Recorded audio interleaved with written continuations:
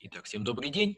А, мы сегодня в таком камерном коллективе с небольшим количеством слушателей а, познакомимся с нашим направлением прикладная информатика.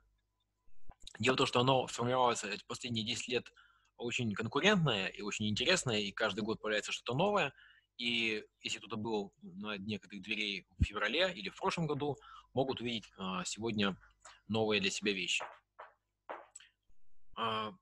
Я называю ее «Путь программиста или дизайнера цифрового мира», потому что на самом деле у нас два профиля. Это разработка программного обеспечения и прикладная информатика в дизайне. А зачем так было задумано?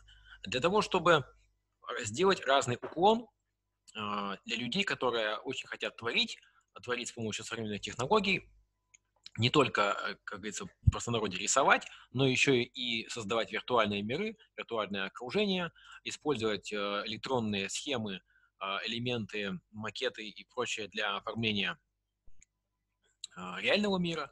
Поэтому у нас достаточно много дисциплин интересных, и как раз вот во второй части Анна Георгиевна поподробнее расскажет о учебном плане и из чего состоит вообще учебный процесс. Моя же роль э, сказать, в принципе, какой подход к обучению программистов, как мы их готовим, в течение порядка 20 с небольшим минут. Итак, дело в том, что высшее образование существенно отличается от э, школьного, и цели и задачи у него совсем другие. И последние годы испытывают большие вызовы от э, других способов обучения. Например, это онлайн-образование и курсы, корпоративные университеты крупных компаний, таких как «Газпром», например, Сбербанк имеет собственный университет уже. Эти университеты набирают э, либо собственных сотрудников, либо обучают за, за деньги всех желающих – и они могут гораздо быстрее перестраиваться, просто потому что по существу это не высшее образование как в привычном нам виде, и университетам довольно сложно подстраиваться под меняющиеся требования рынка. Это было всегда, но в последние годы это стало особенно актуально, потому что у вас э, каждый год появляются новые библиотеки, новые технологии развиваются, и перестраивать учебный процесс непросто, но мы пытаемся. Высшее образование – это не только и не столько, может быть, сами знания, поскольку сейчас онлайн-курсов, библиотек, публичных э, лекций и материалов, информации огромное количество, в ней человек просто тонет, особенно тот человек, который уже родился со смартфоном в руках, как, например, наши дети, там, 10-11 э, лет, они уже, зная, как ролик на YouTube залить прямо с телефона, и вот вы такие люди пограничного поколения, которые еще родились до интернетовскую эпоху по существу, а будучи уже в школе, активно пользуются интернетом, и на ваших глазах появились мобильные телефоны, смартфоны, мобилизация такая, появился искусственный интеллект, и теперь для вас совершенно, естественно то, что происходит, и вам проще э, поднимать флаг и нести дальше, и развивать новые технологии. Для того, чтобы такие технологии изобрести, что-то новое понять, решить э, ранее нерешаемые проблемы, вам обязательно нужна помощь профессионалов, э, работа вместе с ними, э, нужны единомышленники, потому что ни один серьезный проект, это вам любой э, скажет руководитель, не решается одиночкой. И многие задачи являются поисковыми, то есть в них нет готовых ответов, нельзя нигде списать, никто не знает, как правильно. Например, беспилотный транспорт до сих пор э, функционирует э, в опытном режиме. Даже такси, которое существует от компании Uber, и на них можно сильно уже ездить, совершенно коммерческие перевозки уже существуют, и беспилотные грузовики существуют, но все это на этапе обкатки и перехода уже в так называемый мейнстрим, то есть обычные бытовые вещи. И вот этой апробацией, поиском новых направлений, их отладкой э, и тестированием и заняты юные умы, которые к нам поступают. Вот вы на, на этом слайде я собрал несколько примеров того, как ребята работают с, с преподавателями э, в формальной и неформальной обстановке, э, во время мероприятий, олимпиад, школ. И вы знаете, я сам уже пять лет преподаю вот, на этом направлении и сам по существу видел, как оно развивалось. Могу сказать, что такая слаженная работа а, и на занятиях, и вне их, особенно в, в внеучебное время позволяет э, сплотиться и более интенсивно работать над какими-то важными задачами. Как мы учим программистов? Мы исповедуем проектный подход в обучении. Мы выбираем для вас актуальные задачи. Никакого Паскаля преподавать никто не будет. Спасибо Господи. А мы стараемся и можем себе позволить индивидуальную работу с ребятами, потому что у нас учатся на одном курсе, в зависимости от того, какой набор, от до 20 до 40 человек, в зависимости от курса. То есть всего на направлении мы обучаем порядка 120 очного направления, еще есть вечерники. Поэтому мы в лицо знаем всех студентов, ну и, по крайней мере, большинство. Даже на первом курсе, кто сейчас учится, я их сам не учу, но так как я с ними работал во время приемной кампании, а половину я в лицо знаю. К тому же, пока вы учитесь даже на первом курсе, вы начинаете взаимодействовать с преподавателями кафедры, которых э, порядка 20 человек. И эти люди, которые вам интересны, близкие по характеру, понятны – вам, вы начинаете с ними работать не как с преподавателями во время занятий, семинаров, а взаимодействовать постоянно, спрашивать совета, а, чтобы они вам подсказывали интересные книги, э, может, какие-то задачи вам давали. Они вовлекают вас в свои проекты, и вы так ведете с ними вместе все четыре года своего обучения, занимаясь совместными проектами, а, решая задачи, консультируясь, может быть, даже а, становитесь друзьями, но э, в отличие от тех направлений, где я преподаю сейчас и где я учился раньше, это не было очень популярно. Мы стараемся, чтобы такое у, ребят возникало. То есть они знали, кому из преподавателей по какому вопросу можно обратиться. Кто знает VR, кто знает э, силовую схемотехнику, кто может нарисовать картинку, а кто может порекомендовать э, проектного менеджера или бухгалтера для его проекта.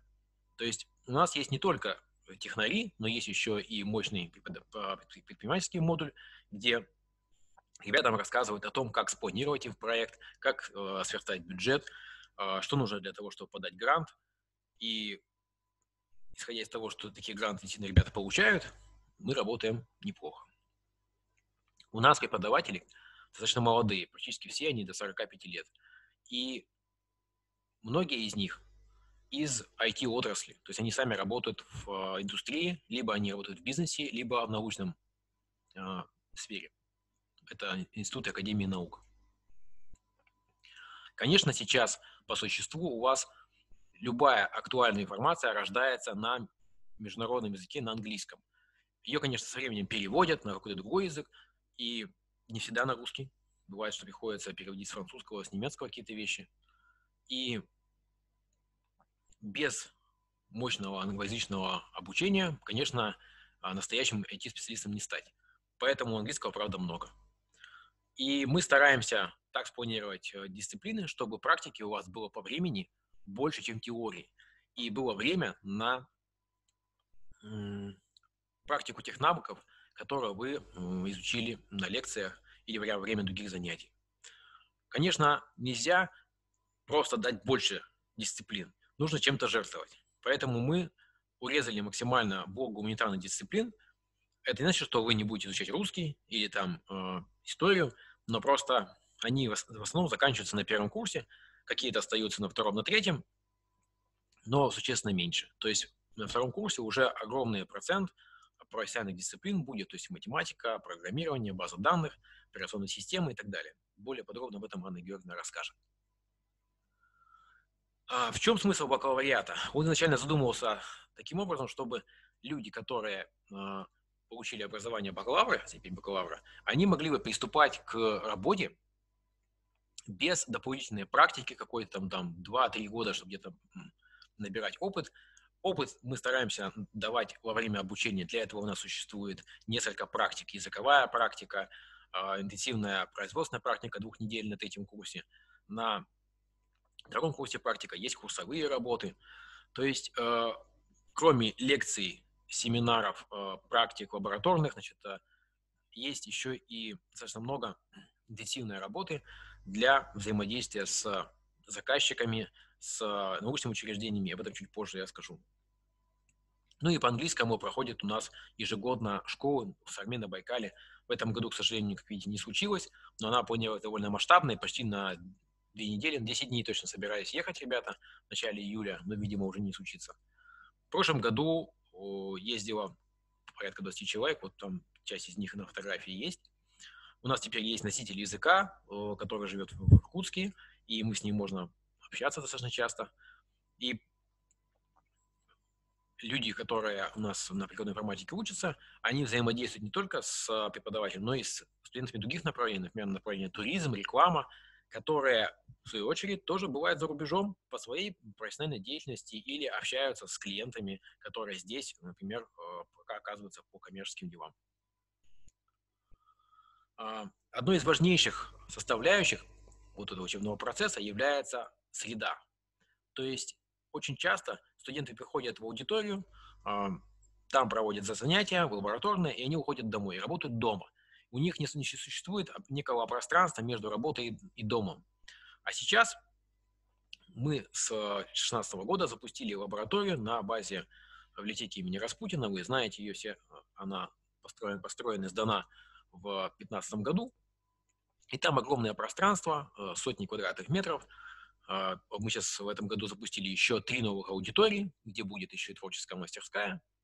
И это пространство позволяет вам во внеучебное время, а, даже некоторые ребята место занятий туда приходят, с понедельника по субботу, приходить в любое практически время, а, до заката солнца работать над своими проектами, общаться.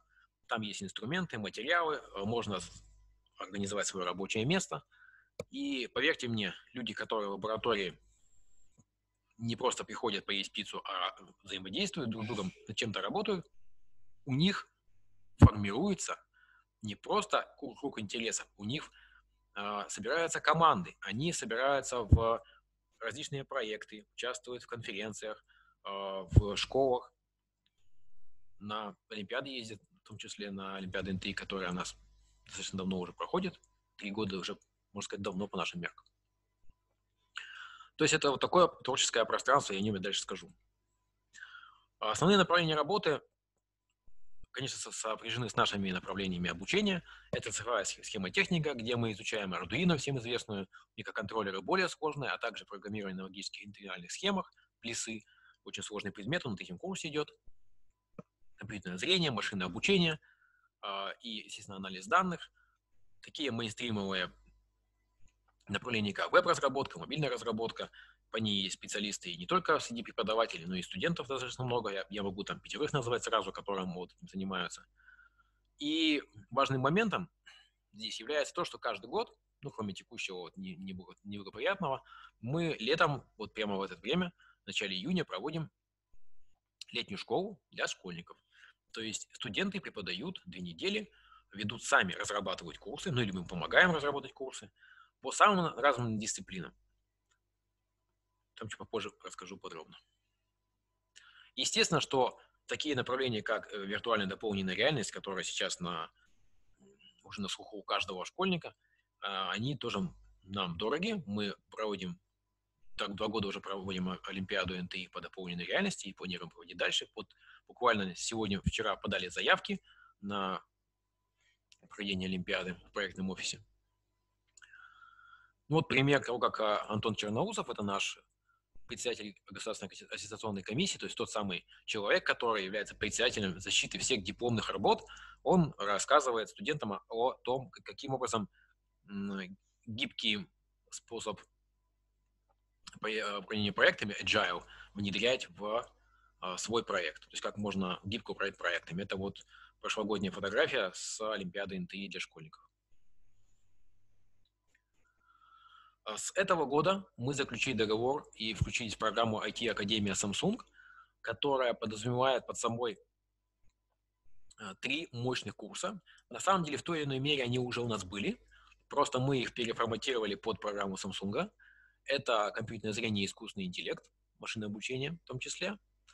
А, интернет вещей здесь не упомянут, но он есть. Значит, э, это микроконтроллеры, это беспроводные технологии и встраиваемые системы, встраиваемые решения. И третий курс – это мобильная разработка на языке Kotlin. То есть до этого я мобильную разработку читал на Java, теперь будет Kotlin. Ну, со следующего года буквально. Ну, ребятам, наверное, будет не очень просто, потому что все-таки Kotlin э, им не давали отдельно, но в вашем учебном плане уже предусмотрен такой подход, что вы сначала в рамках одной дисциплины на третьем курсе изучаете разные языки программирования, называется языки методы программирования, насколько помню, этот. Теория и практика языков программирования курс называется. Вот. И в рамках него Kotlin будет изучать, а потом придете ко мне на мобильную разработку, уже прямо в мобиль, мобильную разработку будем его применять. Эта IT-академия сопровождается также онлайн-курсами, а также будут мероприятия а, от организаторов этой программы. И вам по окончанию курса, как только вы защитите свой проект, вам выдается сертификат от компании Samsung. По существу, это часть вашего портфолио как начинающего программиста, начинающего профессионала. И для кого-то это может быть важным, важным шагом, потому что э, очень часто к ребятам, которые начинают работу, возникает первый вопрос, а какой у вас опыт? А вот мой опыт, мое приложение, которое есть на Google Play, в маркете, можете скачать, вот мои исходники на GitHub, пожалуйста, познакомьтесь. Да, может быть, я не, не получу денег за этот индивидуальный проект, но зато это опыт, и он оценен комиссией, э, сертификат получен и так далее. То есть у вас этот опыт не отнимешь.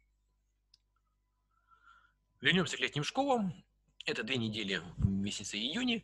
А для школьников студенты рассказывают о своих интересных им направлениях. Это может быть совершенно не программистские направления, фотография, каллиграфия, это какая-то, какая-то микроэлектроника, 3D-моделирование.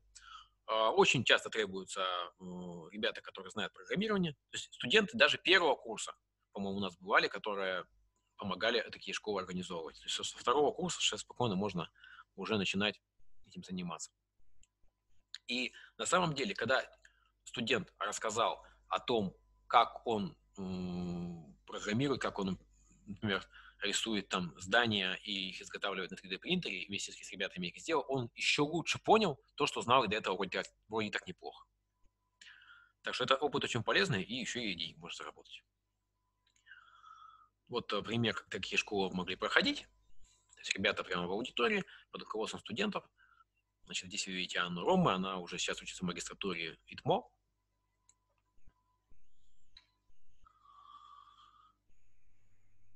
Лаборатория была бы не была бы лаборатория, если бы не мероприятия, которых мы проводим огромное количество, и даже сейчас их все запихать на слайд это сложно. Конечно, это крупнейшее мероприятие, это хакатон компьютериата, на котором вы многие были или, по крайней мере, слышали. Это конференция «Удивительный мир», которая сейчас буквально готовится к запуску. Э, принимаются еще заявки, поэтому если у вас есть индивидуальные проекты, смело подавайте, у них сайт открыт, заявки принимаются. Мы проводим Олимпиаду НТИ по технологии виртуального мира. А, это трек для младших школьников 6 по 8 класс, э, по 7 класс, по-моему, и с 5 по 7, по-моему, там был. И, естественно, что Олимпиада N3 по дополненной реальности, которая проводилась в марте прошлого года и в апреле этого года в распределенном формате. В нашей группе можно будет посмотреть детали. Вот пример того, как летняя школа проходит у нас. Это школа 17 года, конечно, не очень новая, но тем не менее, это она была очень удачная, очень массовая. Там были ребята, даже из Улан-Удэ целая команда приехала. И мы вовлекли туда и квадрокоптеры, и сетевое оборудование. То есть ребятам сразу за несколько дней удалось поработать с огромным количеством разных задач. Это были прокладка маршрутов, и навигация для коптеров, и подключение видеонаблюдения, в общем, много чего еще.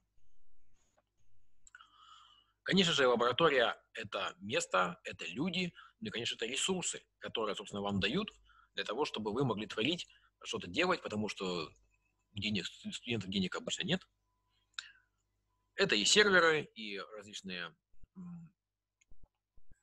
беспилотные летательные аппараты, платформы робототехнические, много чего еще. Сетевая лаборатория D-Link у нас существует. Со следующего учебного года у нас будет преподавать а, ведущий менеджер компании D-Link Иван Александрович Костыря. Поэтому он еще моложе, чем я, а, будет рассказывать с огоньком. Ребятам ему очень нравится. Мы уже несколько раз с ним работали на школах, и он преподавал в этом учебном году. Так что с каждым годом мы стараемся наше направление все, все сильнее укреплять, и я даже немножко завидую, потому что сам здесь не учился. Буквально в двух словах о тех победах, которые за последние пару лет случились, потому что мы э, стараемся, ну, иногда приходится э, способствовать, там, кого-то подталкивать. ребята, чтобы участвовали в разных мероприятиях. Это международная студенческая конференция в Новосибирске ежегодная, которая проходит обычно в апреле-мае. А, в этом году она пришла в удаленном формате, но и в прошлом году, и в позапрошлом у нас постоянно едет целый десант по 6, 8, 12 человек, в зависимости от года. И, как правило, никогда не уезжает обратно без призов. Также в Томском политехе проходила конференция эм, по информационным технологиям, где даже первокурсник э, Юра Прошутин умудрился получить призо, призовое место за своим проектом, хотя он только поступил буквально, и вот он в декабре поехал. А, хакатоны проводим, конечно, постоянно. Олимпиаду НТИ мы уже не только сами проводим, но и наши студенты участвуют активно в ней. Поэтому побеждают. И вот сегодня Зоя Александровна вам расскажет, может быть, если спросите, о том, как в Олимпиаде НТИ можно выиграть. Появился студенческий трек с прошлого года, и в прошлом году одна команда из пяти человек выиграла два финала. В этом году э, второкурсники выиграли финал э, технологии беспроводной связи. Э, про гранты. Наши студенты активно занимаются разработками или научными исследованиями, и они подают заявки на собственные исследования в разные фонды. И вот в прошлом году а, получили 4 гранта на развитие собственных продуктов. Это двухлетний грант. По существу это целиком зарплата на личное, личное потребление получателя. И в следующем году будут представлять свои проекты. Также удалось в этом году собрать команду на трек геномного редактирования, чисто биологический, биоинформатический трек, тем не менее он очень научный, он содержит много ну, сложной научной информации. И ребята съездили в Новосибирск, э, правда, ничего не выиграли, но они были близки к третьему месту очень сильно.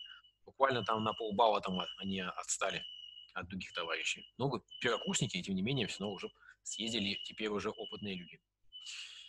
А, каждый год так получается, что у нас ребята ездят на школу по биоинформатике, которая гигантский конкурс, у нас 100 человек, а, конкурс там 10, 10 человек на место. Зоя Лайкова, Аня Ромы, да, и Григорьева, который сейчас в третьем курсе учится. В общем, очень много ребят там участвует. Школа очень мощная, проходит либо в Москве, либо в Петербурге, в зависимости от года. И э, тот, кто приезжает, уже с багажом обратно с огромным по биоинформатики и вычислительной биологии. Наши ребята в этом году поступили 8 э, человек в ведущие вузы в магистратуру, то есть это примерно треть курса выпускного. Э, и сейчас я думаю, что выпуск еще будет еще мощнее. Не знаю, кто куда поступает, потому что ситуация, как видите, изменилась. Но если вы получаете базовое образование в Иркутске, оно настолько хорошее, качественное, если вы, конечно, дурака не валяли, что вы можете себе позволить поступить куда угодно, даже за рубеж, если у вас с английским все хорошо. Немножечко ресурсов, которых можно почитать про наши мероприятия, посмотреть картинки. Это школа программной инженерии, Олимпиада НТИ и группа для поступающих, которые на самом деле давно не обновляли, но тем не менее там фотографии кое-какие есть. И я передаю слово уважаемой Ане Георгиевне. Может быть, мы сделаем